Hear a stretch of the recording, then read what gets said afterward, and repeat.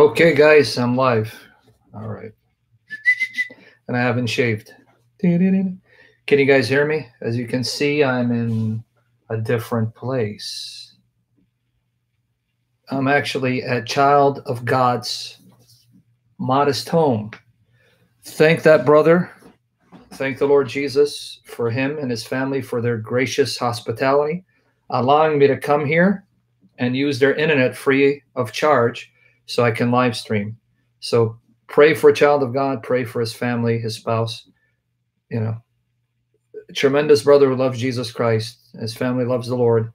That's why they allow me in their home, even when they're not here, and use their internet so I can serve you for the glory of Jesus Christ. Now, the reason why I haven't been able to live live stream these last past last couple of days is because my brother cut off the internet. So he cut off the internet. So that means I'm going to have to be live streaming here whenever a child of God allows me to live stream.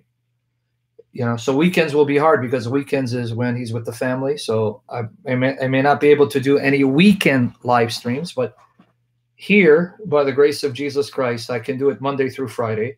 As long as the Lord Jesus gives me the health I need, refreshes me spiritually, emotionally, mentally, and physically, and keeps me pure for his glory in Jesus name. I'll keep teaching you. I'll do a few more sessions on live Q&A. So this is where you need to write out your questions and I'll go back into doing topical studies and if God wills, not only topical studies, but we'll go through books of the Bible. Maybe we'll go through Genesis or John as the Spirit leads me, as the Spirit qualifies me, as the Spirit enables me with wisdom and knowledge, understanding, and power from the Spirit in Jesus' name. So pray for the internet connection.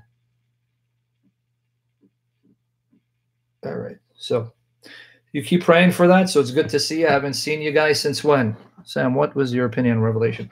Uh, okay, I'll comment on it real quickly. So imputed versus imparted righteousness. Why does it matter? Well, Vine. Yeah, that's a good question. impartation is more Catholic doctrine, where God uh, infuses in your soul the quality of righteousness. So now you're in a state of grace. Whereas imputed righteousness means that because of your union with Jesus Christ, you are now mm, declared righteous. And this righteous standing is conferred on you because of what Jesus Christ did for you, which you receive by grace through faith in Him. Right? Well, she's live too? Oh boy. I hate when I do a live session and other people are live. Ah, that stinks. I don't like to compete. Anyway, I'd lose. I'm the least popular apologist. Okay, with that said, let me just ask the Lord to bless and pray for this internet connection too. It's like now this is a little slow, right? Yep, okay. It's good to be back with you. Thank you, Robbie Stones. Anything good that's from me is because of the grace of the Triune God. So we're going to praise the Triune God. We praise you. We love you, Father. We praise you. We love you, Lord Jesus. And we praise you. We love you, Holy Spirit. We depend on you, Holy Spirit. We need you, Holy Spirit. we don't just need you to preach and teach, we need you to live. We need your grace, your mercy, your love, your power, life from your presence to live the Christian life, to live the spiritual life, to live the holy life, not just biologically, but spiritually, because all life is from you, Spirit, in union with the Father and the Son. So seal us for the glory of Jesus and fill us for the glory of Jesus and perfect us for the glory of Jesus and save us for the glory of Jesus and crucify our flesh and save us from the stains of our flesh for the glory of Jesus. And let our hearts become the throne of the Son of God, the heart of the Father who became flesh. Please, Holy Spirit, wash us in the blood of Jesus Christ. And Holy Spirit, please bless our loved ones who are not saved. Bring them to the feet of Jesus. Our spouses, our children, our parents, our relatives, our siblings, who, whomever they may be, bring them to the feet of Jesus.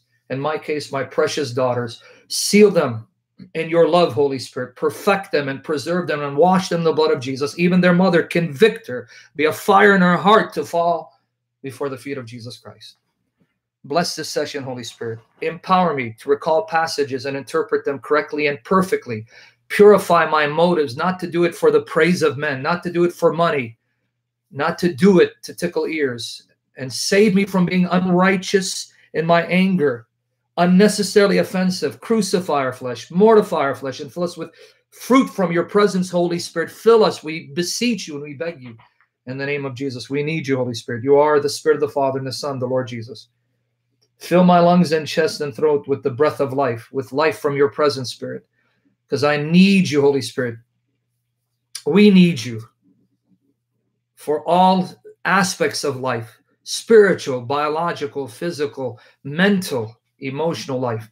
Anything that is good and pleasant and perfect is from you.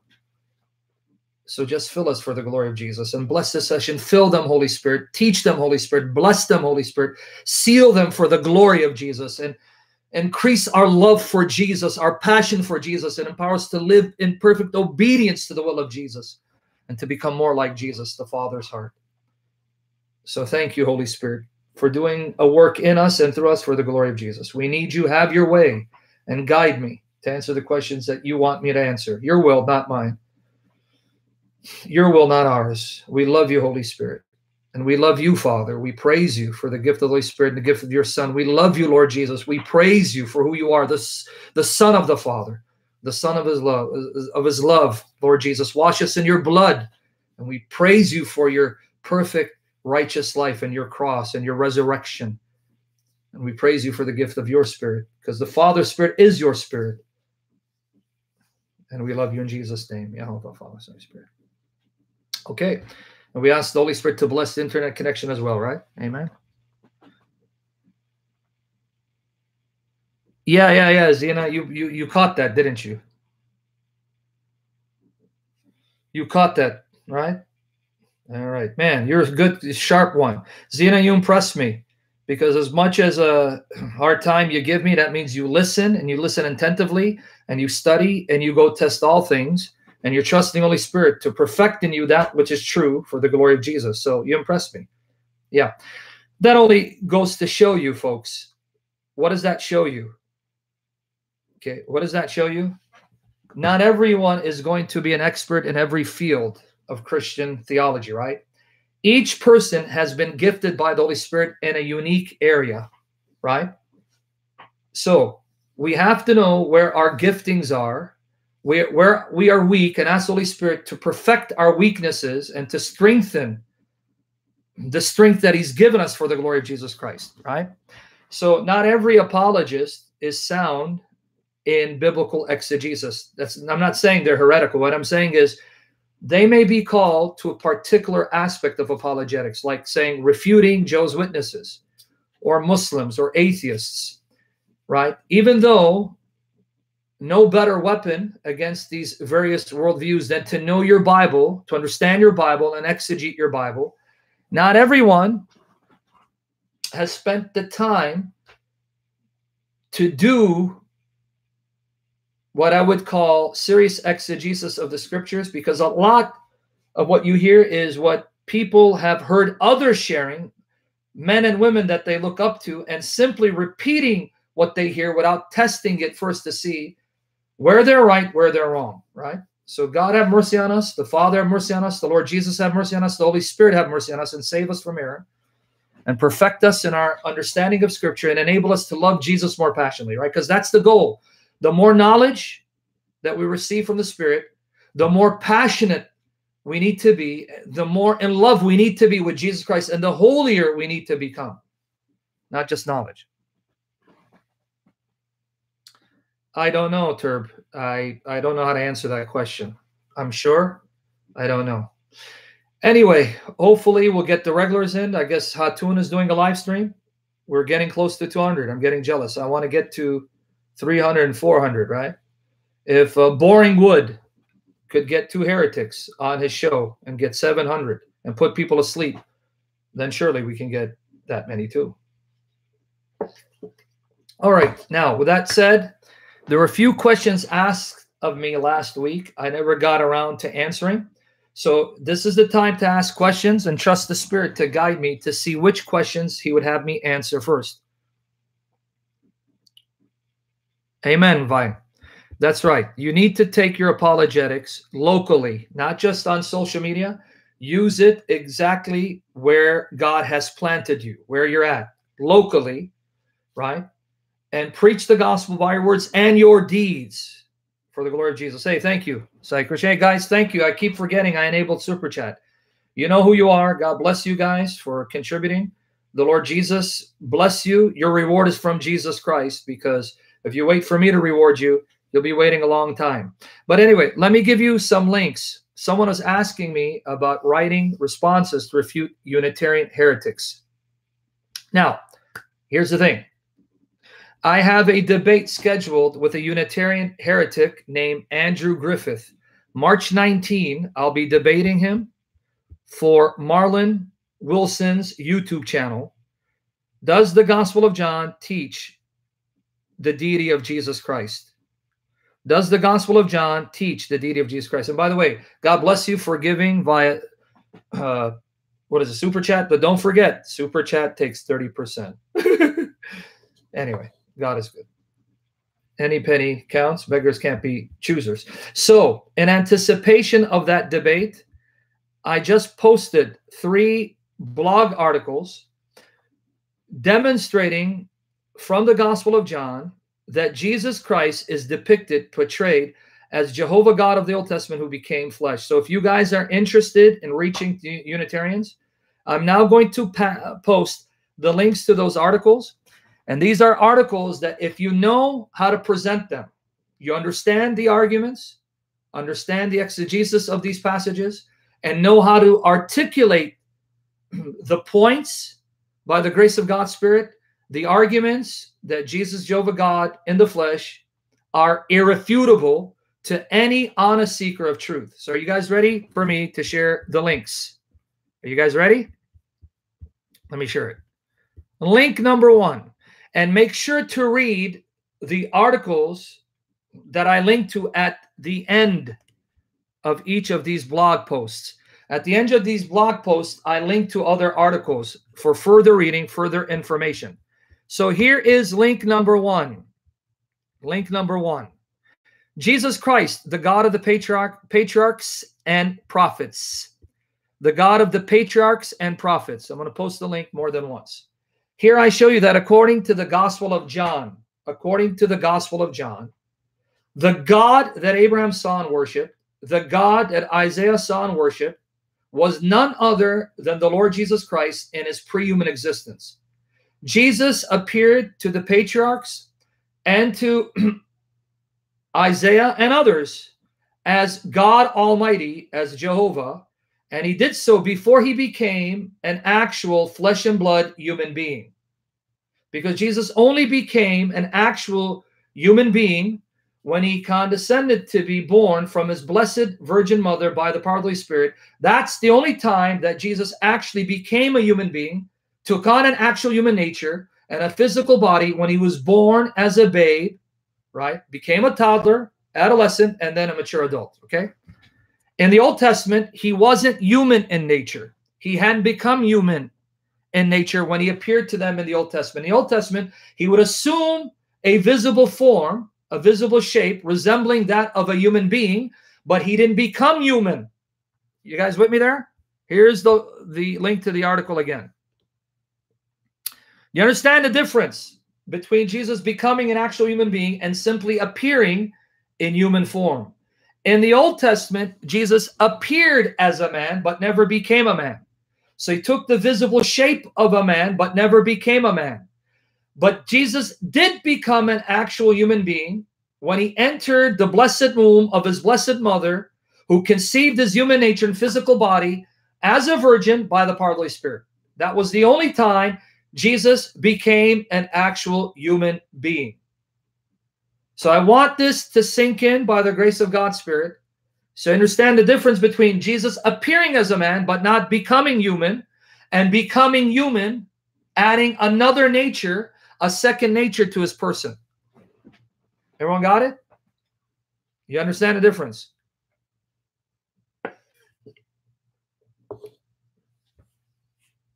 Everyone got that? Send uh, Aramachi back to the Blackstone to smooch it like the pagan that he is. We got another pagan stone liquor here trying to cause problems. Again, here's the article again. I just posted the link three times. That's the first article. Here's another article, and I will explain some of these points because one of the questions that arose had to do with the concept of agency, which I alluded to in the previous sessions. I had asked, Do you guys want me to show you from the scriptures where the apostles are said to be the agents of Jesus Christ? Someone said yes, but I never got around to quoting those verses. So we trust the Holy Spirit to loosen my tongue, save me from error, to bless you for the glory of Christ as we go real deep into the scriptures. Here's the second article. Here's the second article. This article is titled Jesus Christ, the Living Bread from Heaven. This is another article proving from John Jesus is God Almighty in the flesh, refuting the demonic, pernicious heresy of Unitarianism. Let me be upfront. Unitarianism is a doctrine of the devil. It's from the pit of hell, and it's a blasphemy against Jesus Christ. Unitarians are not your brothers and sisters. They are children of the devil until and unless they repent and worship the true Jesus. Okay? So here's the link again. This is the second article helping you refute Unitarianism and proving from John's gospel Jesus existed in heaven before he became flesh. Okay? Are you saving the links?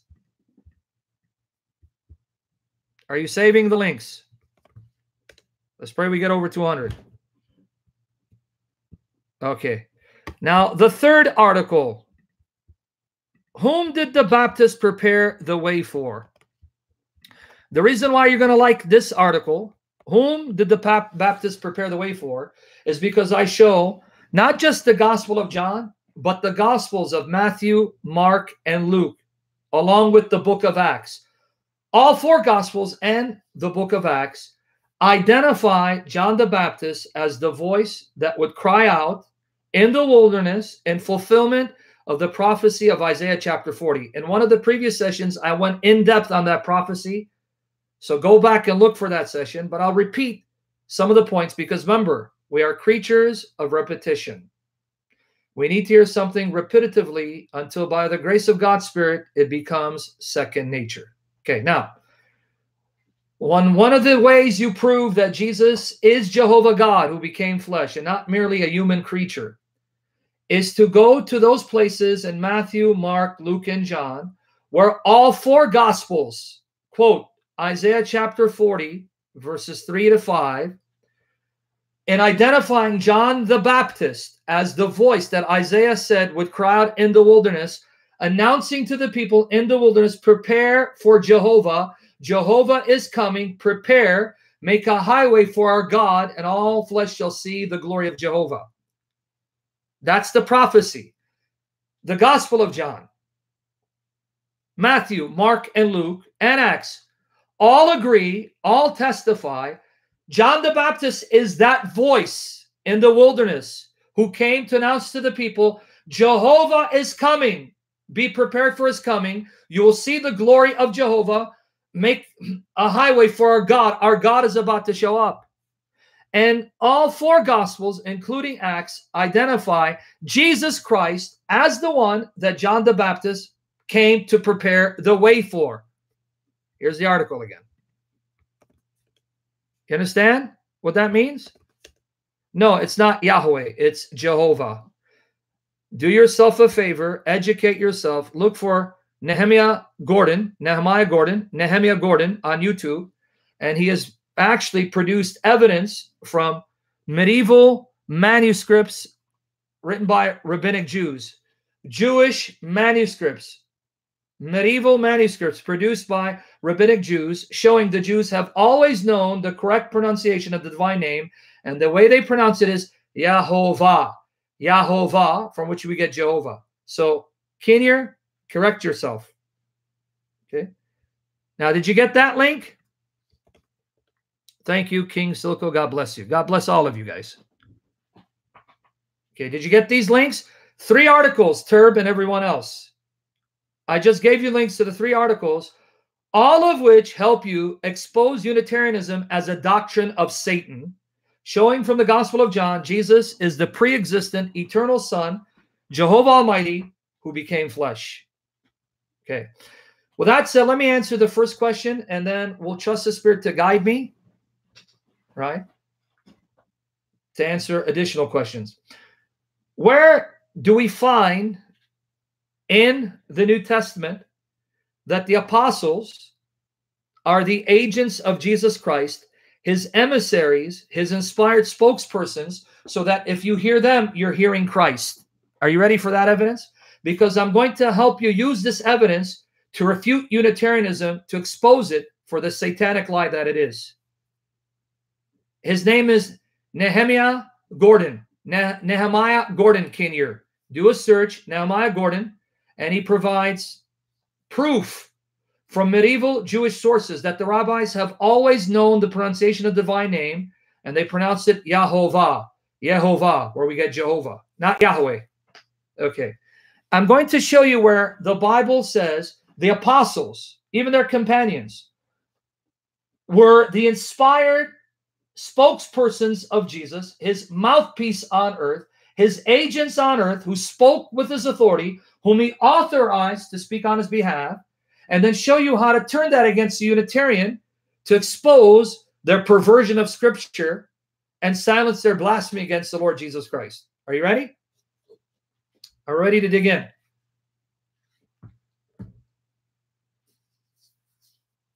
You ready? Okay. Matthew 10, verse 40. And thank Protestant for helping me to help you. Matthew 10, verse 40. Lord, have mercy and refresh us and fill us with the joy of our salvation that comes from you, the joy of your salvation that you gave to us. Matthew 10, verse 40. He that receiveth you receiveth me. Jesus speaking to the disciples. He that receives you receives me. And he that receiveth me receiveth him that sent me. Did you catch it? If they receive you, my spokesperson, they're receiving me. And if they receive me, they receive the one, the Father who sent me. That's the first passage. That's Matthew 10, verse 40. Luke 10, 16. Luke 10, 16. Luke 10, 16. Hope this is going to bless you guys. That's my goal to be used of the Spirit to bless you, to take you a higher level, to fall more in love with Jesus. All of us, myself included. We can't love him enough. He that heareth you heareth me. Did you catch it? He that hears you hears me. He that despiseth you despiseth despiseth me. And he that despiseth me despiseth him that sent me. Do you see the agency here? You reject the apostles, you're rejecting Jesus. You accept the apostles, you're accepting Jesus. You love the apostles, you love Jesus. You you see the word. So this is this means the apostles are Jesus's spokespersons, his agents on earth. You're getting it? In Jesus' name, we're going to reach 200. Come on now. I'm going to get excited. I want to see that get up. Come on now. More people are hearing this stuff. All right. John 13, verse 20. John 13, verse 20. This, if you, Turb and everyone else, if you understand the point I'm going to make, this is one of the most powerful refutations of Unitarianism, exposing Unitarians as heretics, agents of the devil, if you understand the argument I'm about to make. I'm helping you refute Unitarian heretics with the hopes they'll repent of their blasphemy. John 13, verse 20. Verily, verily, I say unto you, he that receiveth whomsoever I send receiveth me. And he that receiveth me receiveth him that sent me. John 17, verse 18. John 17. Get ready to get blown away when we get to John 20.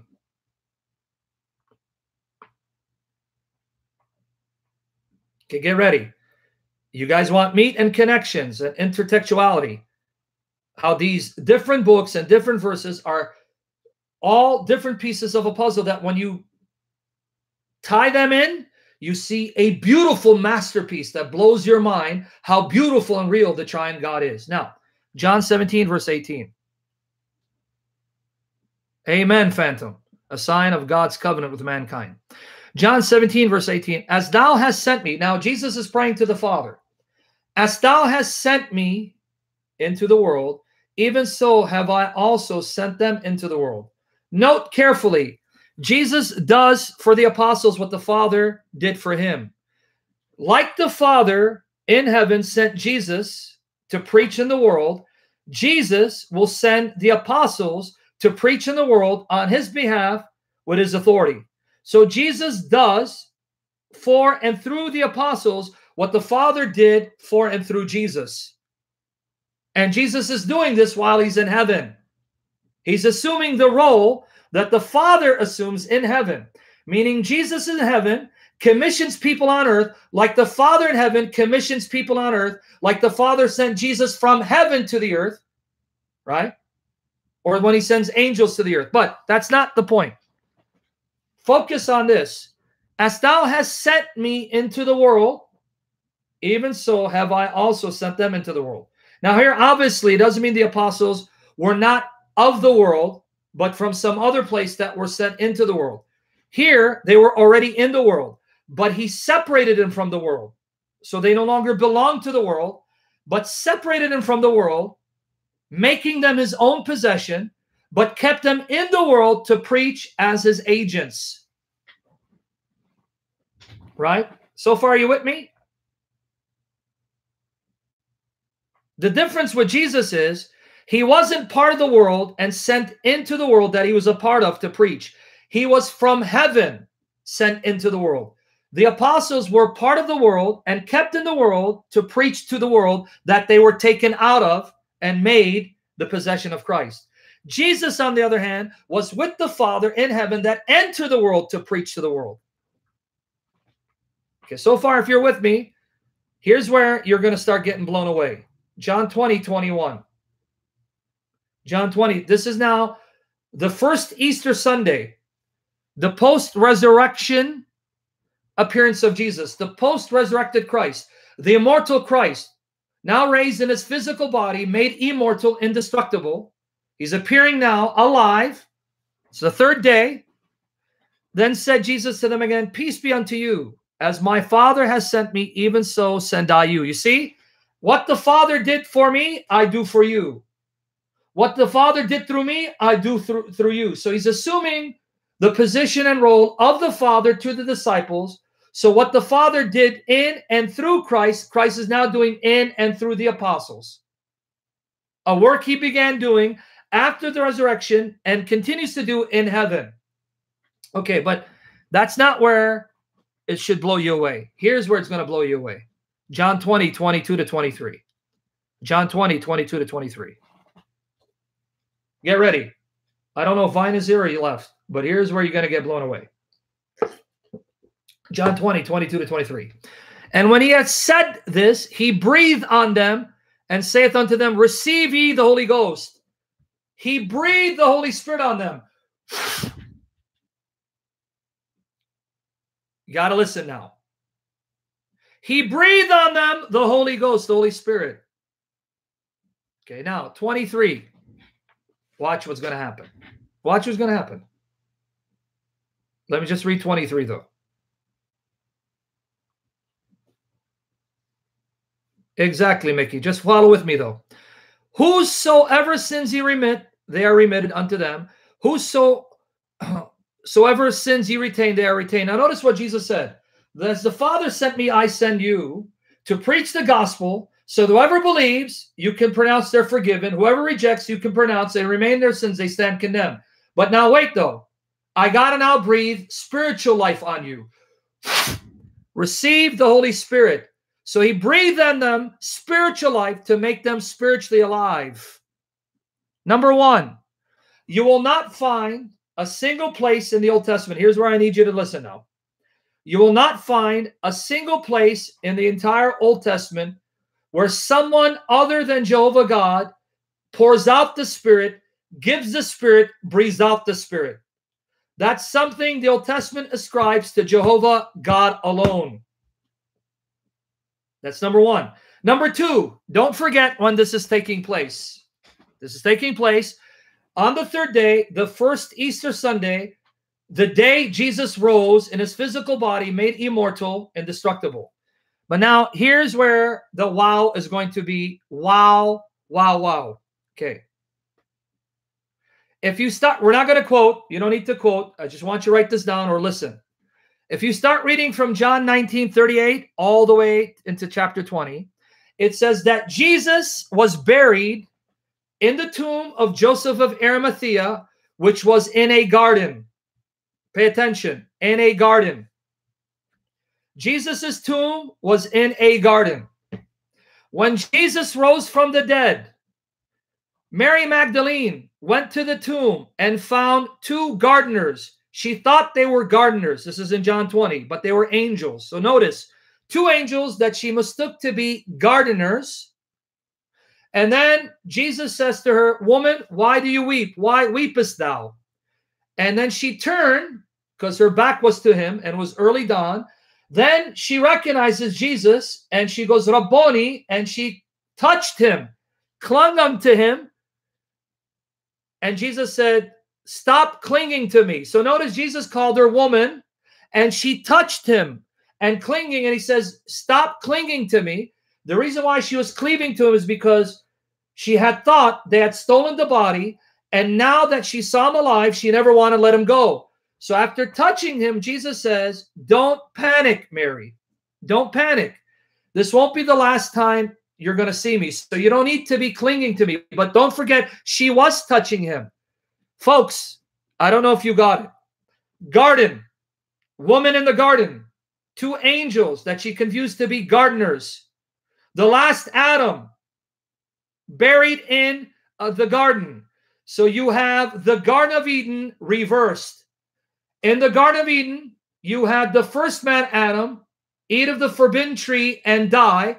So death occurred, took place in a garden, right? And a woman was there. And then God assigned two cherubim to prevent Adam and Eve from coming back into the garden to eat the tree of life. Here you have the garden in which the last Adam conquers death in the garden. He destroys death in the garden. He brings in immortality in the garden.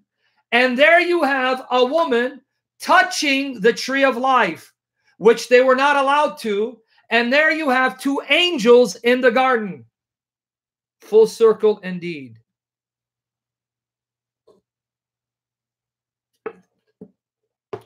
You guys catch what's happening in John?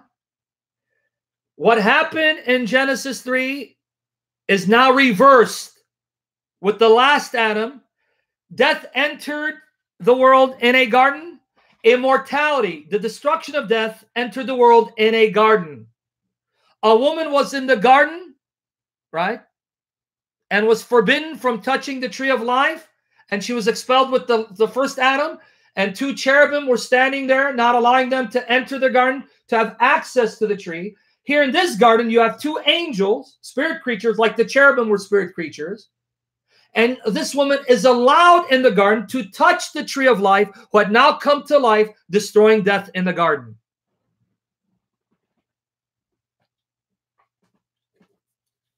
You catching it? But I don't think you caught it. No, I don't think you caught it yet. Genesis chapter 2, verse 7 back to back with John, John 20, 22. No, I don't think you caught it yet. Genesis 2, verse 7, back to back with John 20, verse 22.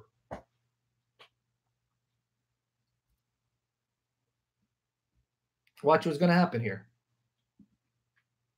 And you see, Jesus called her woman, right? Woman, why weepest thou? What was Eve called in Genesis 2 and 3? Woman. You saw the connection there? In John 20, he says, Woman, why weepest thou? Why do you weep, woman? A woman in the garden. She's called woman. Another woman in the garden. That woman ate of the forbidden tree and was not allowed to touch the tree of life. This woman was allowed into the garden to touch the tree of life. Exactly, family Windholm. Family, you made the connection. The shame that that woman brought in the garden is now removed in John 20.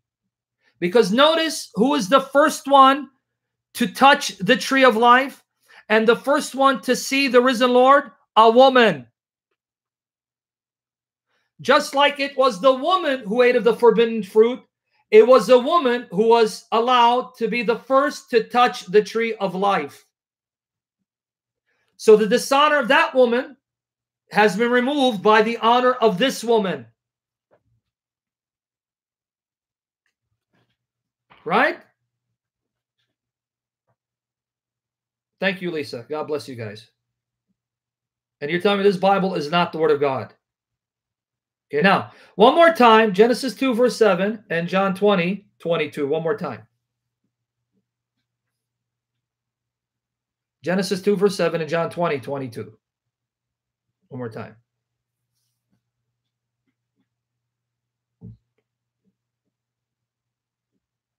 Watch here. And Jehovah God formed man of the dust of the ground and breathed into his nostrils the breath of life, breathed into his nostrils the breath of life, and man became a living soul. Now notice what Jesus does, who's Jehovah in the flesh. John 20, 22. And when he had said this, he breathed on them and saith unto them, Receive ye the Holy Ghost. There is your Jehovah God, the same God who breathed the breath of life into the man in the garden, making him a living soul, is now breathing spiritual life, regenerating them, rejuvenating them, making them spiritual alive by breathing on them the Holy Spirit. Did you make that connection? Exactly, medic for Christ. A woman was allowed to touch the tree of life first. I have no idea what you're asking me. Did you catch it now? Jehovah God breathed the breath of life in the nostrils of that man, making him a living soul. Here's Jehovah God in the flesh, Jesus Christ, breathing the Holy Spirit on his disciples to make them alive again spiritually, right? To resurrect them spiritually, to regenerate them spiritually.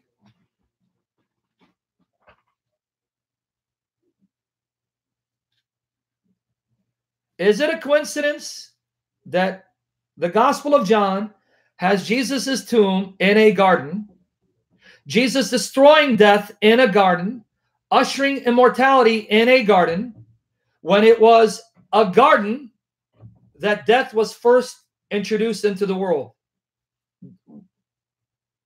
that spread to all mankind.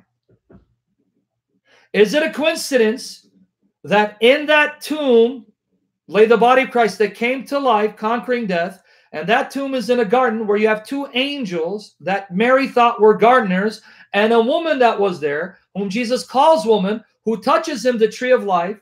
Just like in Genesis 3, you had a woman in the garden, and then two cherubim, spirit creatures, that were placed there to bar them from touching the tree of life. Coincidence?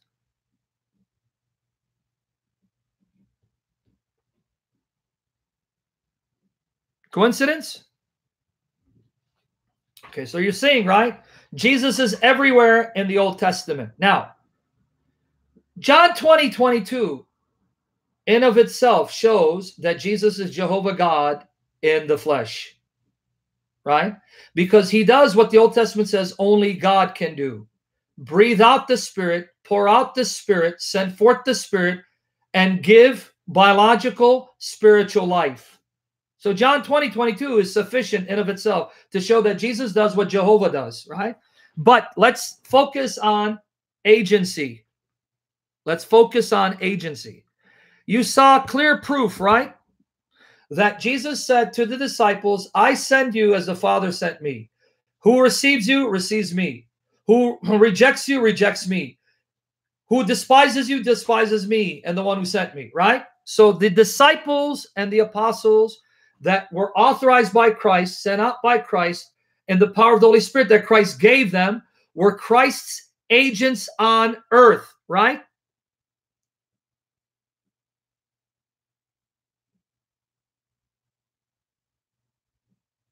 Mike Mullins, you're kidding me, right? Do I need to show you that? If I show you in Genesis 3:20 to 24, where the cherubim were placed there to keep Adam and Eve from entering the garden and eating of the tree of life. What are you going to tell me, Mike Mullins? Genesis 3 20 to 24.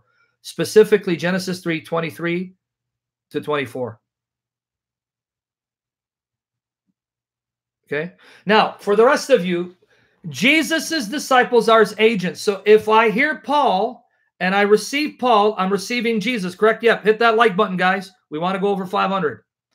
Some more verses to prove that. Second Corinthians 13, 3. Sandra, why do you keep asking me questions that are not directly re relevant to the topic? Can you wait on your questions and focus on what we're discussing so you can learn this for the glory of Christ? Okay. Let's go to Second Corinthians 13, 3 and 10. Second Corinthians 13, verse 3 and 10. Since ye seek a proof of Christ speaking in me, which to you word is not weak, but is mighty in you. And then 10. 2 Corinthians 13, 10. Therefore, I write these things being absent. And I hope Medic is not getting into a side discussion and losing focus because he has a bad habit of doing this. He even got someone blocked because he it's not Medic. I'm sorry. Lord, forgive forgive me, Medic. It's Methodius. You're a good brother, Methodius, because he has an MET. I got it confused with MED. That, that tells you I'm illiterate like Muhammad. Methodius, focus, brother. Michael, focus. Let's focus on this in Jesus' name. Because if you're talking about other issues, you're not focusing, you're not going to learn. Okay? Sorry, medic. I'm illiterate like Muhammad. I misread MET with MED. Sorry. Now, Second Corinthians 13, verse 10. Let's focus for your benefit to learn this so you can use it to glorify Jehovah Jesus. Second Corinthians 13, 10. Therefore, I write these things being absent, lest being present I should use sharpness according to the power which the Lord hath given me to edification, not to destruction. So Paul says, Christ speaks through me and he's given me power to instruct, to edify, or discipline. okay. Now, how do these passages destroy Unitarianism? All right, now you ready for me to help you expose Unitarianism for the satanic lie that it is? Are you ready? Because I'm trying to help you make the best case that Jesus is Jehovah God, not simply a human creature. Okay, one of the arguments that these heretics will use is the concept of agency. The Hebrew term is shaliach, shaliach, right? They'll say that according to the Bible, a person's agent, because he speaks with the authority of the one who sent him, can be identified as the one he represents. In other words, let me give you an example. Protestant is my agent. So I send Protestant to first and last. Someone can say, Did you see what Sam said to first and last? Even though I never said a word to first and last, Protestant spoke to him on, on my behalf. Right? So this concept is a biblical one in that when an agent speaks for someone else, you can skip the agent and just go to the source. In other words, if Protestant's speaking for me, not him, and he's speaking for me to, to first last, you can skip the fact that Protestant was speaking and say, Sam said this to first and last, even though I never said anything to him directly. But you realize that because Protestant was speaking for me, it's not his words, but my words, which he conveyed. So you can put them aside and just say that Sam told first and last X, Y, and Z. Okay. Do you understand what agency is? You understand what agency is now? So, how do these Unitarian heretics use this concept to prove Jesus isn't God? They'll say Jesus is called God because he's the Father's agent, invested with the Father's authority, and the Father authorized him to speak for the Father. So, he's called God in that sense of being God's agent, not because he's God in essence. Okay. Now, how do you refute that? You ready to refute it? Now, are you ready to refute this lie? To show that this is a misapplication of this concept, misappropriation of this concept. It is true that if an agent speaks on behalf of another, you can say, when that agent speaks to a certain individual, you can say that in the case of Protestants speaking for me, to first last. Sam said this to first and last. However, the agent can never go around and identify himself as the one he represents. In other words, though Protestant believer speaks for me, he cannot go up to first class say, Hey, I'm Sam Shamoun in the flesh. And first Last cannot say, Sam Shamoun to Protestant. And this is clear from the apostles. Just because the apostles spoke on behalf of Christ, were authorized by Christ, and Christ spoke through them, no apostle could go around saying, I am the Lord Jesus Christ. I'm the Son of God who died on the cross for you. And no one could call Paul my Lord and Savior, Jesus Christ. Right? Do you understand? You understand how this agency doesn't prove the point they seek to make? Get it. Wasn't Paul Jesus' agent? Yes. So why did Paul go on saying, I am the Lord Jesus Christ, the Son of God who died for you? And why did they call him Jesus? Lord Jesus, welcome. Because an agent cannot claim to be the one that he represents, nor can someone identify the agent with the person he represents. You can't do that. Therefore, you cannot call Jesus God, worship him as God, and Jesus can't identify himself as God if he's if he isn't truly God in essence. That doesn't work.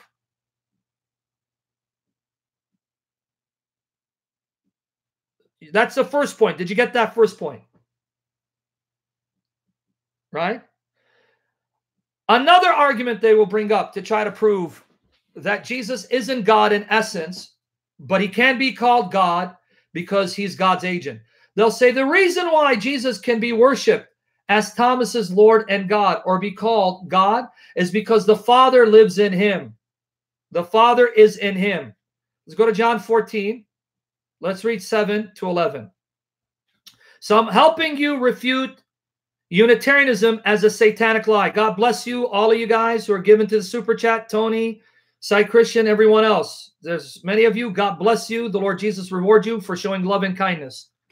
Okay, John 14, 7, 11. Guys, please understand this refutation. I promise you, if you understand this refutation, you will silence these Unitarian heretics, as I'm about to do to Andrew Griffith by the power of Jehovah Jesus. In Jesus' name. Okay, John 14, 7 to 11. If ye had known me, ye should have known my Father also. And from henceforth ye know him, and have seen him. Philip saith unto him, Lord, show us the Father, and it suffice sufficeth us. Man, the King James is hard on my tongue, especially when you have a lisp. Fucker and attached. All right. Read now 9 to 11. Read with me. Jesus saith unto him, Have I been so long time with you, and yet hast thou not known me, Philip? He that has seen me hath seen the Father. How sayest thou then, show us the Father? Okay, now watch. Notice the argument and how to demolish it. Believest thou not that I am in the Father and the Father in me? So the Father's in me. The words that I speak unto you, I speak not of myself, but the Father that dwelleth in me, he doeth the works. Believe me that I am in the Father and the Father in me, or else believe me for the very work's sake. So their argument is, you see, because the Father was living in Jesus, you could call Jesus God because you were addressing the Father in him as God, not Jesus. Thank you, Alistair. You understand their objection? You understand their objection? The Father being in the Son and the Son being in the Father qualifies Jesus to be called God because you're acknowledging the God in him because God the Father is in him, working through him. You can call Jesus God because it's not him you're calling God, but the Father in him. You understand their objection? Because I'm going to show you how to obliterate, annihilate that objection. Are you ready? Are you ready to annihilate that objection?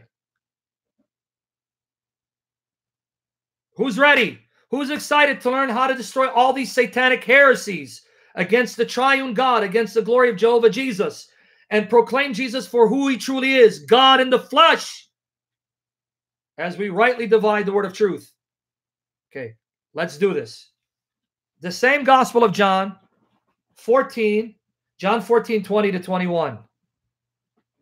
John 14, 20 to 21. You got to hear this over and over again till it becomes second nature. John 14, 20 to 21. Watch here.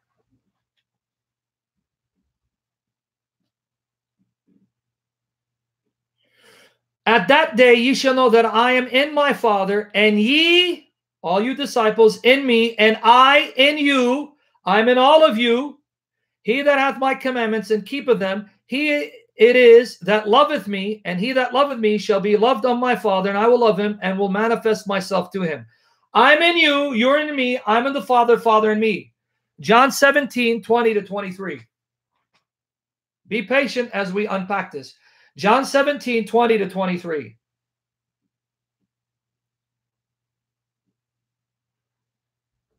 John 17, 20 to 23.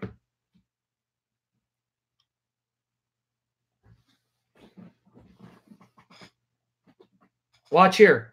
John 17, 20 to 23. Read with me. Neither pray I for these alone, but for them also which shall believe on me through their word. So, not just the disciples, all believers who believe. I'm praying for all of them. That means he's praying for us now. And all Christians who will believe after us until Jesus returns. So, he's praying for all of us. Notice what he says about all of us. Okay. Neither pray I for these alone, but for them also which shall believe on me through their word, that they all may be one, as thou, Father, art in me, and I in thee that they also may be one in us, that the world may believe that thou hast sent me, one in us, united in us, in us, Father and I. They're in Father and I. And the glory which thou hast given me, I have given them, that they may be one, even as we are one. Now notice 22, 23. And the glory which thou gavest me, I've given them, right? That thou may be one, as we are one, I in them, Father. I'm in all of them. The disciples and all who believe after them. That means He's in us right now. He indwells us right now. In them, I in them, thou in me. They're one in us, you in me, I in them, them in me, that them that they may be perfect in one, that the world may know that thou hast sent me and has loved them as thou hast loved me. So Jesus is in all believers. He indwells all believers. He fills all believers in the same way the Father's in him. And all believers are one in him and the Father. Father and Son in us. We're in the Father and Son. The Son in all of us. Second Corinthians 13, verse 5. Yep. This shows that Jesus is omnipresent. He's present with every believer, no matter how numerous, no matter where they're at, to the same degree, to the same extent that the Father is showing that Jesus is claiming to be omnipresent, omniscient. But wait. Yep, it is. Bas Bazimer. Second Corinthians 13, verse 5. Examine yourselves, whether ye be in the faith. Prove your own selves. Know ye not your own selves how that Jesus Christ is in you? If you're a true believer, he's in all of you. Hmm. Except ye be re reprobates. So Jesus is in all of us all true believers. Okay. Hmm. Colossians 1:27. Wait. We're going to have a field day with the Unitarian heretics. This is what I'm going to do to this guy in our upcoming debate by the grace of Jehovah Jesus. Expose him and his doctrine to be satanic in origin. Okay? Colossians 1:27 To whom God would make known what is the riches of the glory of this mystery among the Gentiles which is Christ in you in all of you the hope of glory. So Christ is in all of us. That's the mystery revealed. That God has Christ indwelling all believers, filling them, loving them, right? Preserving them. So Christ is in us. Wow. Interesting. First Corinthians 3:16. Okay, Andrew, you can listen to the archive later. God bless you. And Marcy, God bless you and strengthen you for your 16 hour shift. Watch here. 1 Corinthians 3 16.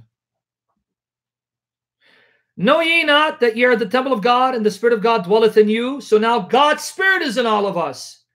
God's Spirit is in all of us. He dwells all true believers, making us the temple of God.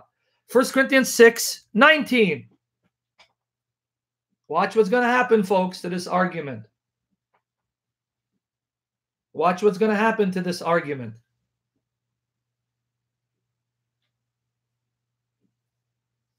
Right? First Corinthians 6 19. What? Know ye not that your body is the temple of the Holy Ghost which is in you?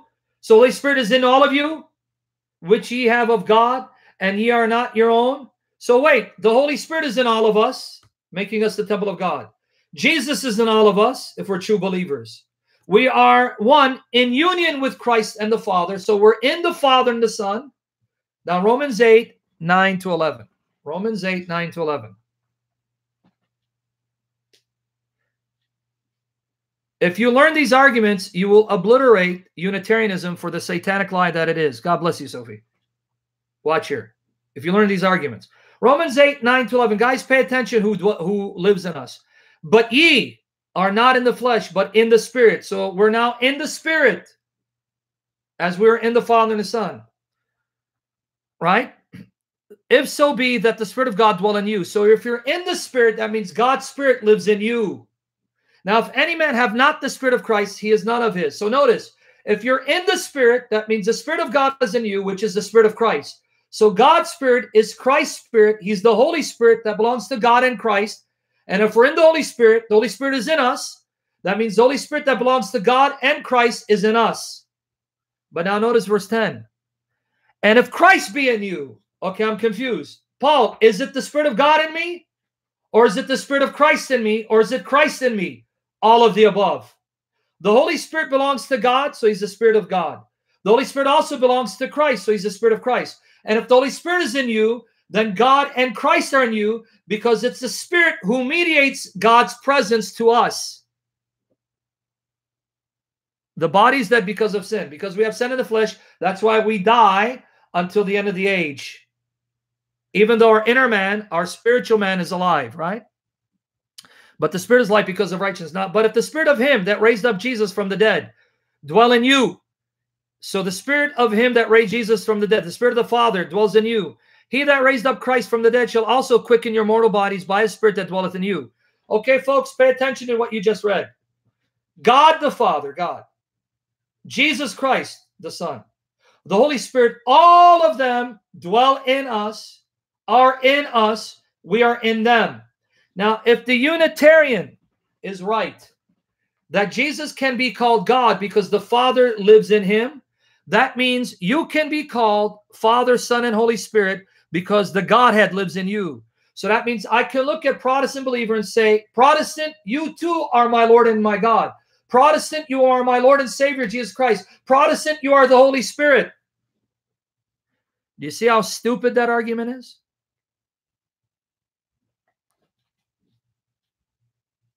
Do you see how silly and stupid and blasphemous that argument is?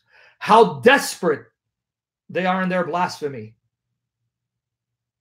to deny that Jesus is God. Jesus isn't God because the Father lives in him. Jesus is God because he shares the same essence with the Father. Because if, Je if Jesus is God because the Father's in him, you are God. The angels are God. I am God because God dwells in his creation and he fills all creation. Let me prove that to you. You ready? Ephesians 3 17 to 19. Pay attention to 19. Ephesians 3 17 to 19. Watch here. So we just destroyed two of their main objections. Two of their main objections. That Christ may dwell in your hearts. There goes again, by faith, that ye being rooted and grounded in love may be able to comprehend with all the saints what is the breadth and length and depth and height, and to know the love of Christ which passeth knowledge, that ye might be filled with the fullness of God. So God's fullness fills all of us. Right? But wait, let's go to Ephesians 1 19 to 23 and pay attention to 23. Ephesians 1 19 to 23. Pay attention to 23.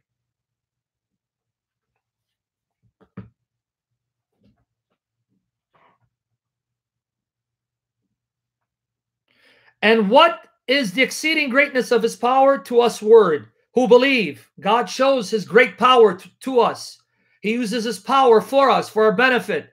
And he showed us how powerful he is, how amazing his power is when he displayed his power by raising Jesus, immortal, according to the working of his mighty power. So, where's the second part of the verse? Because people keep commenting. You skip 20, brother. Protestant, I'm going to have to fire you, bro, because you've been dropping the ball. You know that 20 comes after 19, right? Not 21? You're like the NIV. You skip a verse. That's where you threw me off. And what is exceeding greatness of his power to us, word, who believe according to the working of his mighty power?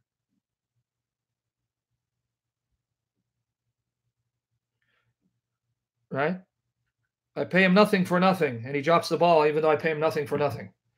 Which he wrought in Christ. He showed how glorious his power is when he used his power to raise Jesus immortal. That's how amazing God's power is. Which he wrought, which he displayed in Christ when he raised him from the dead and set him at his own right hand in the heavenly places, far above all principality. Jesus is exalted, transcends all principality and power and might and dominion and every name that is named, not only in this world, this age, but also in that which is to come, the age to come, and had put all things under his feet, under the feet of Jesus, and gave him to be the head over all things to the church. So Jesus Christ is the head of all creation. All creation is subject to his headship, his authority. And notice what it says about Jesus, which is his body, the fullness of him that filleth all in all. So Jesus fills the entire spiritual body of believers with his fullness. God fills the entire spiritual body of believers with all his fullness. God and Christ are filling all believers with their fullness. As a side note, this shows that Jesus is equal to God the Father. Because, like the Father who fills all things, Jesus fills all things. Right? Sure, huh? Blame the phone. Eve blamed the serpent. Adam blamed Eve, and you blame the phone. You there? Okay, but now here's the final one Ephesians 4 7 to 10. Ephesians 4 7 to 10. Ephesians 4 7 to 10.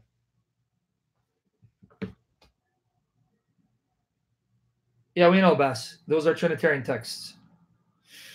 But unto every one of us is given grace according to the measure of the gift of Christ. Pay attention to this, guys. Look how amazing Jesus is. But unto every one of us is given grace according to the measure of the gift of Christ. Wherefore he saith, when he ascended up on high, he led captivity captive and gave gifts unto men. So Jesus, when he ascended on high, ascended to heaven, he led captivity captive and bestowed bestowed bestowed spiritual gifts on us, men. Now notice what it says about him, 9 and 10. Guys, pay attention carefully what it says about Jesus in verses 9 and 10. Now that he ascended, what is it? But that he also descended first into the lower parts of the earth. In other words, it's saying if he ascended to heaven, that means he first descended, right? If he's already in heaven, he doesn't ascend there. The fact he ascended to heaven assumes that he had descended from heaven, he was on the earth, and now went back.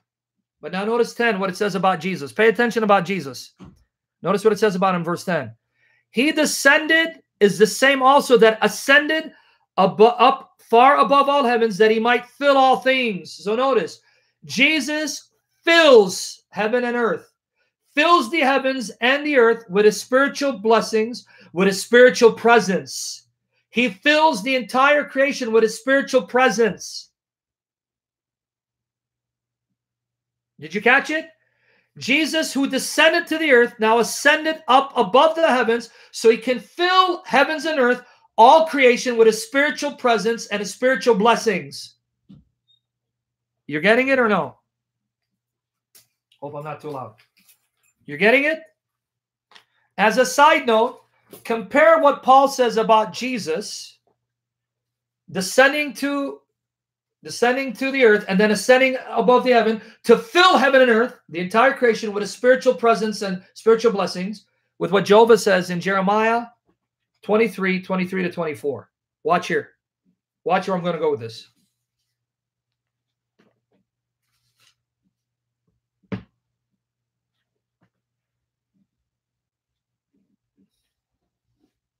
So we're going to be done with the Unitarians after the session. Am I a God at hand, saith Jehovah, and not a God afar off? Now notice what Jehovah says about himself. Can any hide himself in secret places that I shall not see him? Say Jehovah, do not I fill heaven and earth? Saith Jehovah. Hold on. Jehovah, you said you fill heaven and earth. Yes. But Paul says Jesus Christ fills heaven and earth. Yes. How can Jesus fill all creation and you, Jehovah, fill all creation if Jesus isn't Jehovah? To ask the question is to answer. Who told you he's not Jehovah? Okay, now, with that said, not only is this a proof text that Jesus is Jehovah God, because he fills all creation, something only Jehovah does, he fills all creation with a spiritual presence, right? And with every spiritual blessing that comes from him. But he was also in heaven before he came to the earth. That's pre-existence. But here's the thing. Here's what I want to ask you. Yep, Colossians 3.11. Christ is all and in all. But that's referring to believers' family. He's all and in all believers. Here it says all creation is filled with Christ. Christ is filling all creation with his spiritual presence. Christ is filling the angels with his spiritual presence. Folks, let me ask you a question. If Jesus is God because he's filled with the Father and the Father dwells in him, and that's why he's God, doesn't this prove that every creature can be called God? Because the Father and the Son and the Spirit fill all creation, fill all angels, fill all humans with their spiritual presence? So if Jesus is God because God dwells in him and he's filled with God, then that means Gabriel is God, Michael is God, the cherubim are God, all of us are God because the Father fills all of us with his fullness. Jesus fills all of us with his spiritual fullness. So that means the angels are the Father and the Son and the Spirit.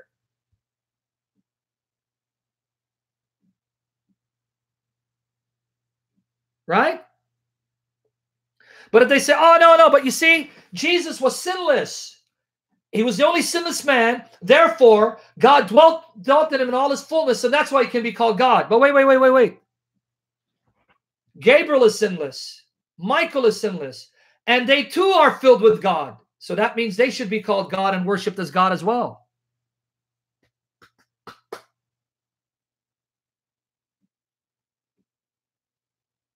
You see how silly, ridiculous these Unitarian objections are?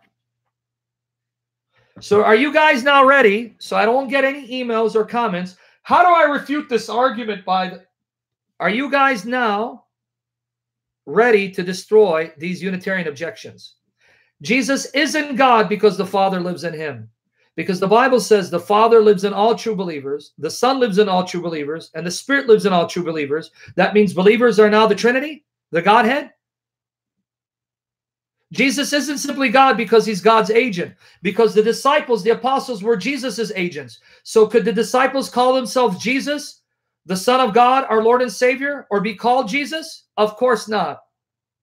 And they'd say, well, Jesus was sinless, unlike anyone else. But wait, Gabriel is sinless, Michael is sinless, and Gabriel and Michael are filled with the fullness, fullness of God filled with the fullness of the Father, filled with the fullness of the Son, filled with the fullness of the Spirit. How do I know? Because Jeremiah 23, verses 23, 24, and Ephesians 4:10 says, Jesus and Jehovah, and Jesus is Jehovah, one with the Father and the Spirit, fill heaven and earth with his spiritual fullness, fills the entire creation with his spiritual fullness. Since the angels are part of heaven, Jesus is filling them as well, and angels are sinless, so they're filled with Jesus, filled with Jehovah. That means they can be called God. They can be called Jesus too. You see how silly this objection is? You see how pathetic and desperate this objection is?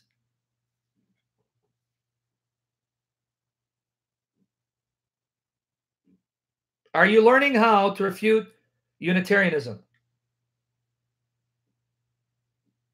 I don't know if Zena's here or Choose Jesus here. They probably left, but I hope they're listening to help them. Another thing, another thing to add. If Jesus is God and receives worship because he's God's agent, authorized by God, That means angels should also be worshiped because they're the agents of God. Here, let me give you an example. Let's go to Revelation 22, verse 6. No, they're not Christians, Anna. They are children of the devil, and their doctrine is from the pit of hell. May God convict them to repent. And if they don't repent, expose them and humiliate them for the glory of Jehovah Jesus. They're not your brothers and sisters. Revelation 22, verse 6. And he said unto me, These sayings are faithful and true. And the Lord God of the holy prophets sent his angel to show unto his servants the things which must shortly be done. So notice the angel is revealing to John what the Lord God wants him to see. So the angel is God's agent, authorized by God to reveal to John the revelation that God wants John to know. Revelation 22, verse 16.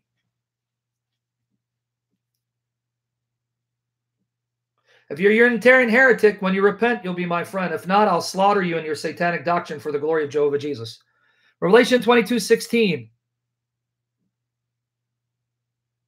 Watch here, Daily Gripe. Revelation 22, 16. I, Jesus, have sent my angel to testify unto you these things in the churches. I'm the root and the offspring of David and the bright and morning star. Now, notice, God, Jesus, sent the angel. God in heaven, Jesus in heaven, sent an angel from heaven to reveal to John the things that John is supposed to write down. Pay attention. God in heaven, Jesus in heaven sent this angel. That means this angel is the agent of God in heaven, the agent of Jesus who's in heaven, speaking with their authority. Therefore, if Jesus can be worshiped as God because he's the Father's agent, then this angel should also be allowed to be worshiped because the worship isn't really given to him, it's given to God whom he represents, right? But notice what the angel does when he's worshiped. Revelation 19:10. Revelation 19:10.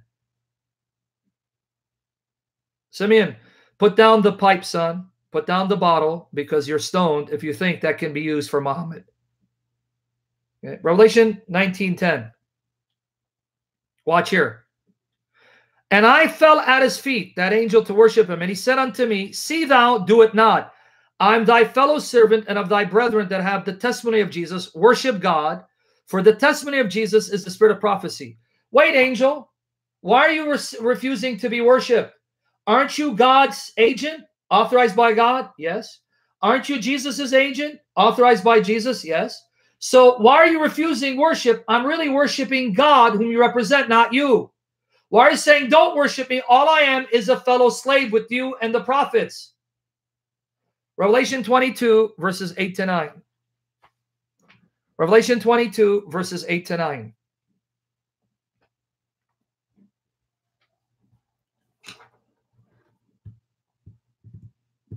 Watch here. And I, John, saw these things and heard them. And when I had heard and seen, I fell down to worship before the feet of the angel which showed me these things. Angel, then saith he unto me, See thou do it not, for I am thy fellow servant, and of thy brethren the prophets, and of them which keep the sayings of this book worship God. But wait, angel, aren't you that angel that the Lord God sent to me? Revelation 22, verse 6. Watch. Revelation 22, verse 6. Aren't you the angel that God sent to me? Here, Revelation 22 6.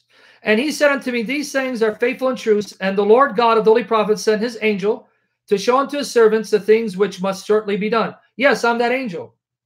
Why did you refuse me worshiping you a second time? Don't you get it?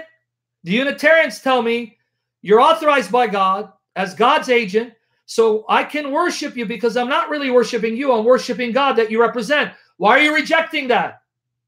Why are you saying you're just a servant, a slave like me, like the prophets? What's wrong with you? Don't you know about Shaliach, the concept of agency? Or you got to wait for Anthony Buzzard to show up to teach you? See how stupid that is? Okay, you understand what you just learned. Let me let me wrap up what you learned. An agent cannot be worshiped as God. An agent cannot call himself God. An agent cannot be called God because agency will not allow for an agent to identify himself as God, to receive the worship due to God, and perform the functions that only God can perform. Agency will not account for all of that. Here's an angel, God's agent, Jesus's agent, but he refuses to be worshiped because even though I'm the agent of God, I'm a creature. Don't worship me, direct it to him, not to the agent or to him through me. No. You get it now? But here, let me give you a brownie point here. Revelation 22, 6 and 16. Now let's turn this around and show you that Jesus is God, one with the Father and the Spirit. Revelation 22, 6 and 16. And he said unto me, These things are faithful and true. And the Lord God of the holy prophets sent his angel to show unto his servants the things which must shortly be done. The Lord God of the holy prophets sent his angel. But wait, nine verses later, well, you want to say 10, right? 10 verse later. Same chapter. I, Jesus, have sent mine angel to testify unto you these things in the churches. Wait, wait, wait, wait. John, you just said in Revelation 22 6, the Lord, the God of the prophets, sent his angel to you. But then in that same chapter, you just said, Jesus told you, Jesus sent his angel. So, John, who sent the angel to you from heaven? Was it the Lord God in heaven that sent his angel? Or was it Jesus in heaven who sent his angel? And why would God need someone other than him in heaven to send an angel from heaven? I can understand someone on earth representing God, but why in heaven is someone other than God, Jesus Christ, doing the things that the Old Testament shows only God does dispatch angels from heaven? Jesus is in heaven sending his angel why would it be his angel when he's in heaven? And why is he sending the angel in heaven? Why isn't God doing it?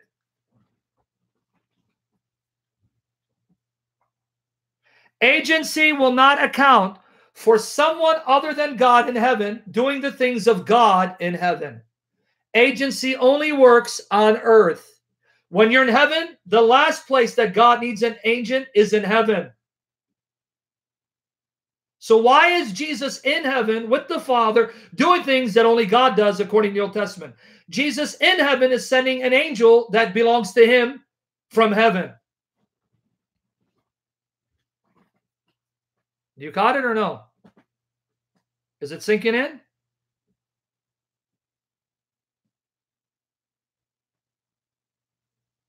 Is it sinking in? All right. Well, let's tie it in again. Revelation 22, verse 6, with another passage. Let's tie this again, but with another passage. Revelation 22, verse 6. Turb, did you get irrefutable ammo showing why Unitarianism is a heresy of the devil? Revelation 22, verse 6. And he said unto me, These sayings are faithful and true. And the Lord God of the holy prophets sent his angel to show unto his servants the things which must shortly be done. Now, notice, he's the Lord God of the holy prophets. He is the Lord God of the holy prophets. All right. Jesus speaking in Matthew 23 34. Jesus speaking in Matthew 23 34. Watch here.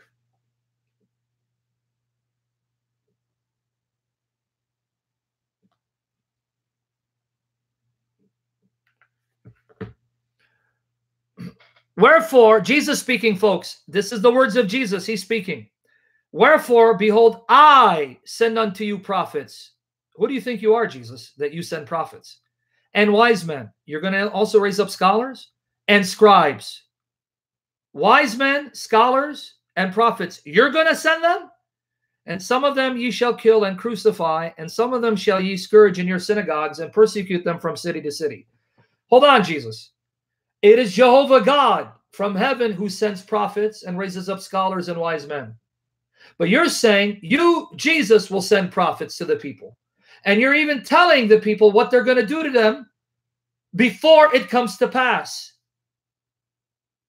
I send unto you prophets. Is that what you're saying, Jesus? But hold on, Jesus. Jeremiah 7 25. You're confusing me, Jesus. You're confusing me, Lord. Jeremiah 7 25.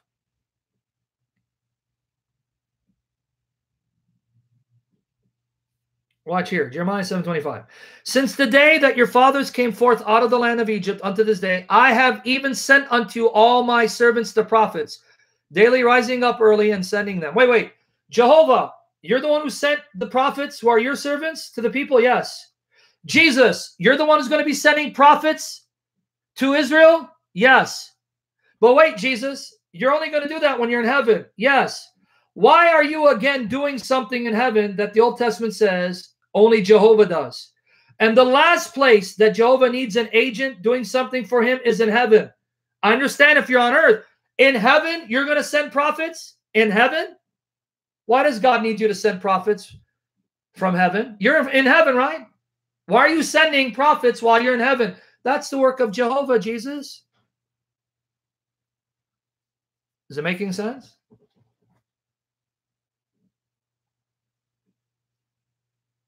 Is it sinking in?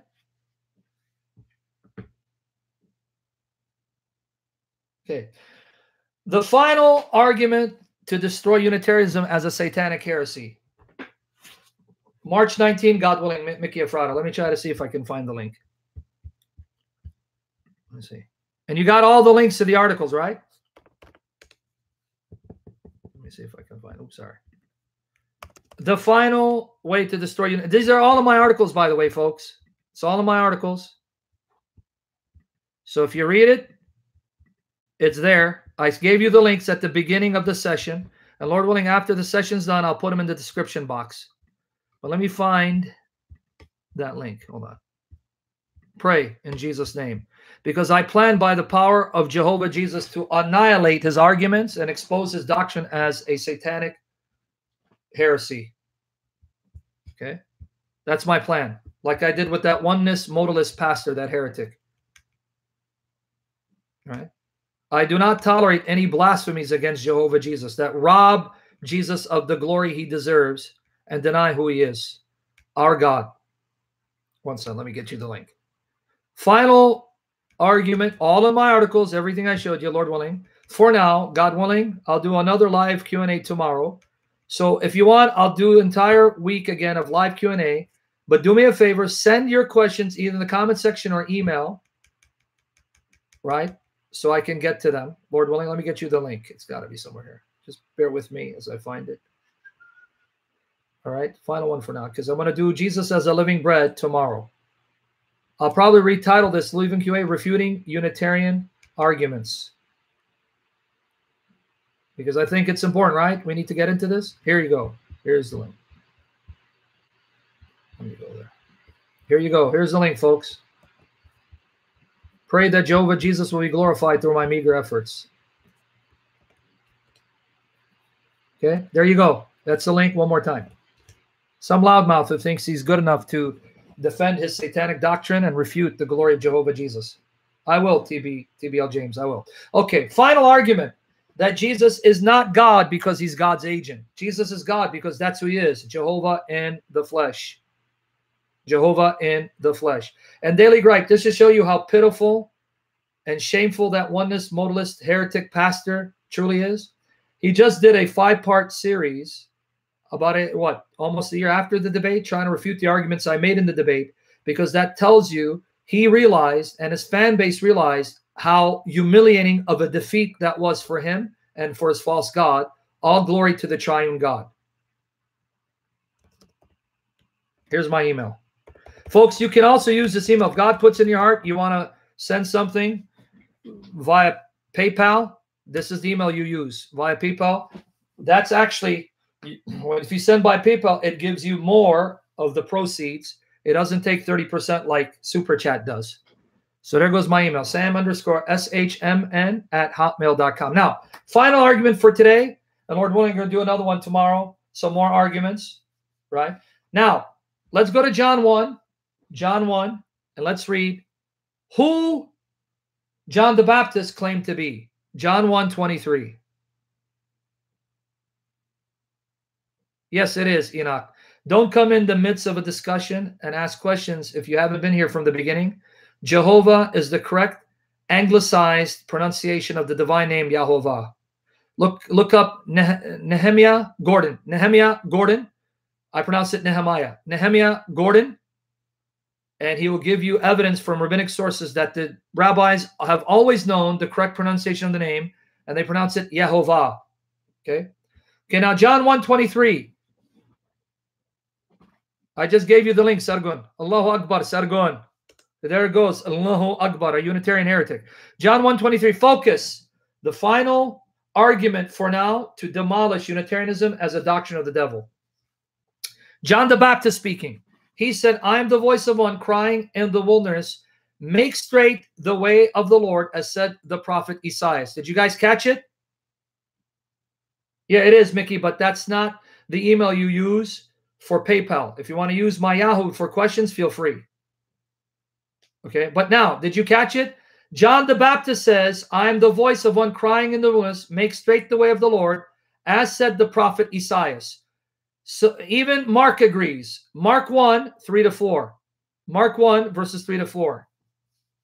I talked Assyrian.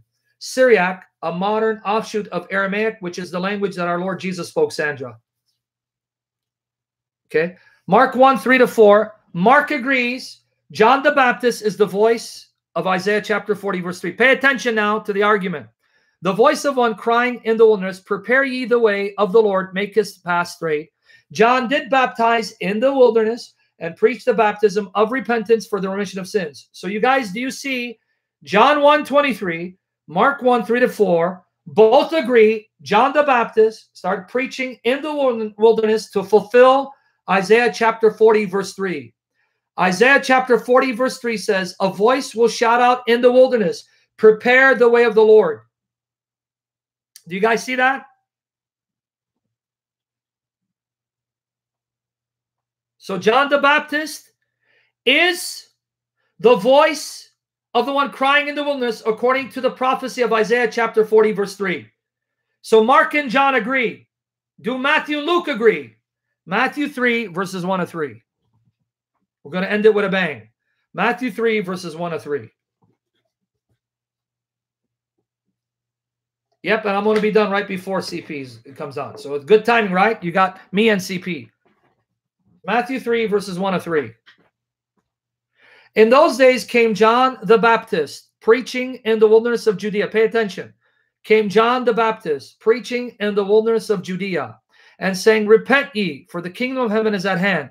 For this is he that was spoken of by the prophet Esaias, saying, The voice of one crying in the wilderness, Prepare ye the way of the Lord, make his path straight. So now Matthew agrees with Mark and John, Gospel of John, that the Baptist fulfills Isaiah chapter 40, verse 3. So three Gospels agree. John the Baptist is the voice of Isaiah chapter 40, verse 3. You, you there? You got it? They're all agreeing?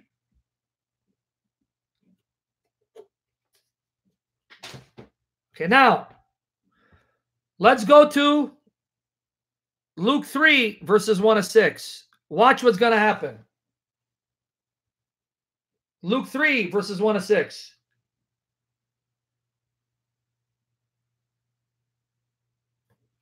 Now, in the 15th year of the reign of Tiberius Caesar, right? Pontius Pilate, as the Lord Jesus perfects my sight spiritually and physically, being governor of Judea, and Herod being tetrarch of too fast, buddy. Tetrarch of Galilee and his brother Philip, Tetrarch of Uturia. Uteria. My goodness, these names. Uturia. Uturia. Butera. Okay. And of the region of Trachonitis, and and the Tetrarch of Abilene. Annas and Caiaphas being the high priests. The word of God came unto John, the son of Zacharias, in the wilderness. Notice he's in the wilderness. And he came into all the country about Jordan, preaching the baptism of repentance for the remission of sins, as it is written in the book of the words of Esaias the prophet, saying, The voice of one crying in the wilderness, Prepare ye the way of the Lord, make his paths straight. Now pay attention to five and six. Every valley shall be filled, and every mountain and hill shall be brought low, and the crooked shall be made straight, and the rough ways shall be made smooth, right? And all flesh shall see the salvation of God. Okay, Matthew, Mark, Luke, and John all agreed. You, John the Baptist, are the voice that Isaiah chapter 40, verses 3 to 5 prophesied would be shouting in the wilderness, telling the people, Prepare the way of the Lord, meaning Jehovah. Make a highway for our God, and all flesh shall see his salvation. Now let's look at the prophecy itself. Isaiah chapter 40, verses 3 to 5. Isaiah chapter 40, verses 3 to 5. Isaiah chapter 40, verses 3 to 5. Yep, I got a chart. Yeah. Watch here. Now let's look at the prophecy.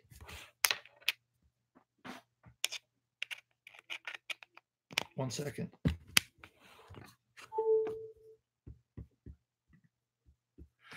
Let's read. There's the prophecy, the voice of him that crieth in the wilderness. Prepare ye the way of Jehovah. You see, the voice is preparing for Jehovah, not a creature, not a spirit creature, not a human creature. This voice is preparing the people. Prepare the way for Jehovah. Make straight in the desert a highway for our God. So this voice is telling the people, get ready. Jehovah, our God, is going to show up. Get ready. He's coming. Who's coming? Our God. Who? Jehovah. Now watch. Every valley shall be exalted, and every mountain and hill shall be made low.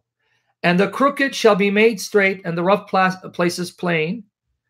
And the glory of Jehovah shall be revealed, and all flesh shall see it together, for the mouth of Jehovah hath spoken it. Now, no doubt about it, John is the voice of Isaiah 40 that is preparing the people for the coming of Jehovah our God.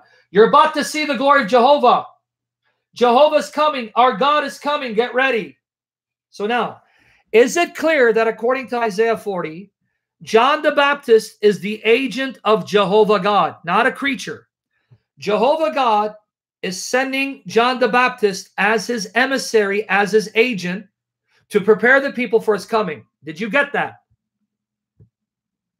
I promise you, if you get these arguments, understand them, absorb them by the power of the Holy Spirit, you will annihilate Unitarianism. You got that? Okay.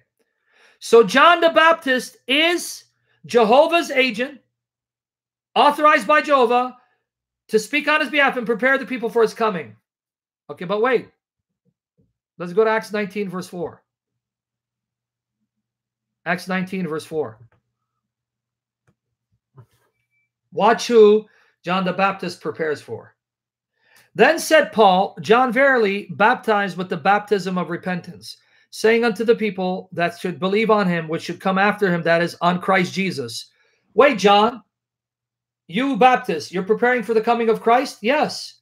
John 1, 29 to 34. John 1, 29 to 34. And I got some prayer announcements and a book recommendation. Praise God, first and last. John 1, 29 to 34. John the Baptist speaking. The next day, notice what the Baptist says. The next day, John seeth Jesus coming unto him and saith, Behold the Lamb of God, which taketh away the sin of the world. John looks at Jesus, says, Behold the Lamb of God who takes away the sin of the world. Now, notice what he says about him. This is he of whom I said, After me cometh a man which is preferred before me, for he was before me, because he exists before me. And I knew him not, but that he should be made manifest, that he should be revealed to Israel. Therefore am I come baptizing water. I was sent to reveal him to Israel. I was sent to make him known to Israel. Israel, here's the one I was sent to prepare you for, to make him manifest to you. Who? Jesus, the Lamb of God. Notice 32 to 34.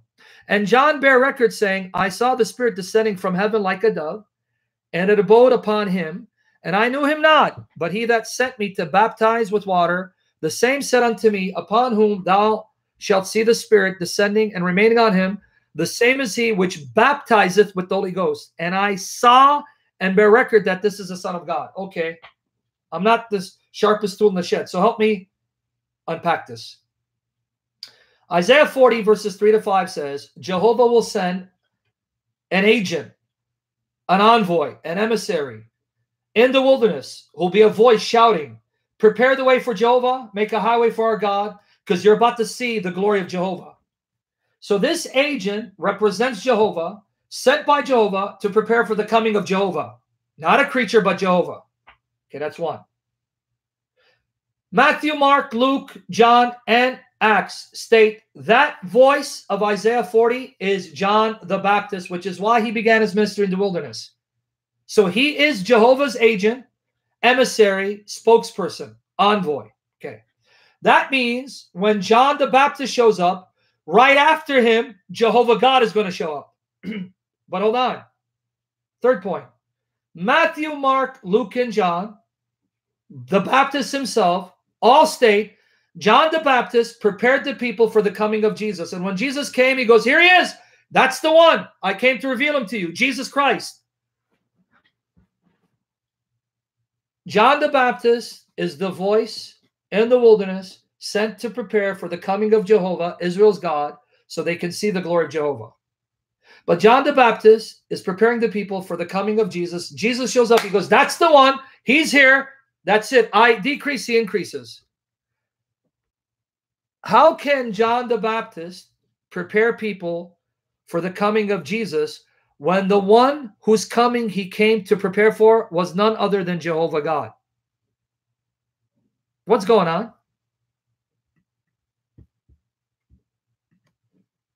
Can someone help me?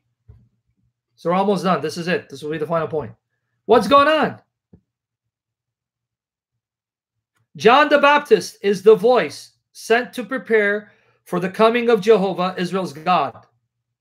But John the Baptist claimed that he was sent to prepare for the coming of Jesus. Conclusion Jesus is Jehovah God, Almighty in the flesh, the very God of Israel that John the Baptist was sent to prepare for. But wait, John the Baptist also said Jesus is the Son of God, the Lamb of God, and saw the Holy Spirit descend upon him. So Jesus is not God the Father. He's the Father's Son and the Lamb that the Father provides for our salvation. And he's not the Holy Spirit because the Holy Spirit came down upon him in the shape of a dove. So Jesus is the Son, distinguished from the Father and the Spirit.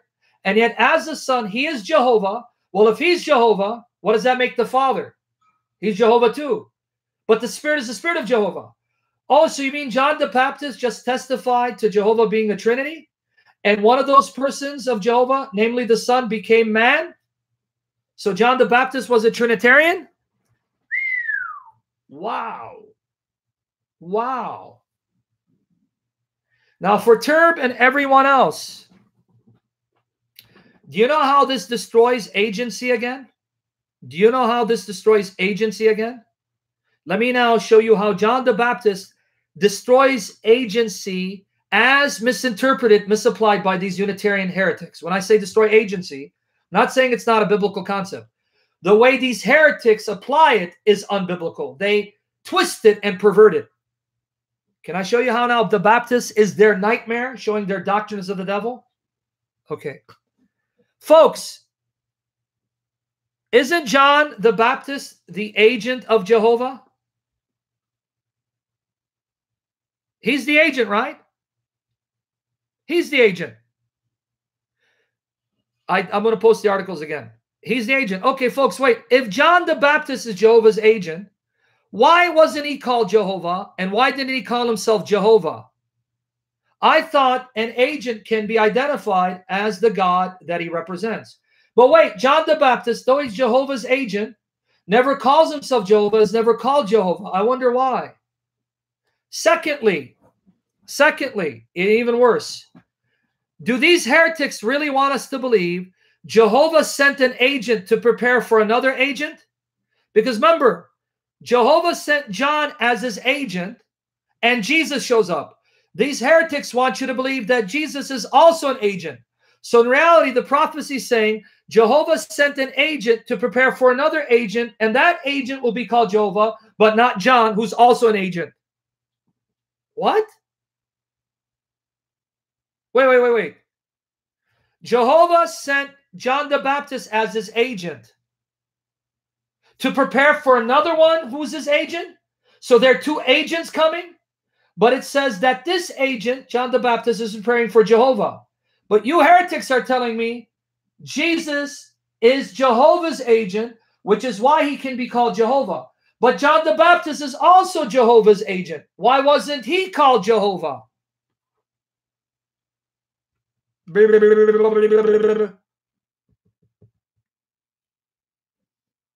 So you see how satanic, how perverted this doctrine is? How it perverts the scriptures to their shame and destruction, robbing Jesus of his glory? What they want you to believe is that Isaiah 40 is actually saying Jehovah will send an agent to prepare for the coming of another agent. And that other agent, he can be called Jehovah, but not the first agent that prepared for that agent. You see how stupid and ridiculous, unbiblical, and satanic this doctrine is? So, what you have in Isaiah 40 is Jehovah sending an agent to prepare for Jehovah, not another agent. But that Jehovah who shows up is Jesus, proving Jesus is not merely an agent of God, he is Jehovah in the flesh and the Father's agent because he's not the Father. He's the Father's agent, but he's one with the Father in essence, in glory, in power, in honor, and majesty, and also one with the Spirit. That's why we're Trinitarians.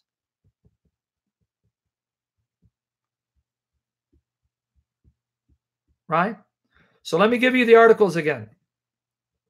Are you ready? Here is the article. Whom did the Baptist prepare the way for? Here's article one. I'm going to put in description box, God willing, when I'm done. That's one. Save these links. I'll put them in the beginning and put them again. The second article, God willing, I'll talk about this tomorrow. Jesus Christ, the living bread from heaven. Filthy bastard, whore, Mert cussing Jesus, blaspheming Jesus. Okay.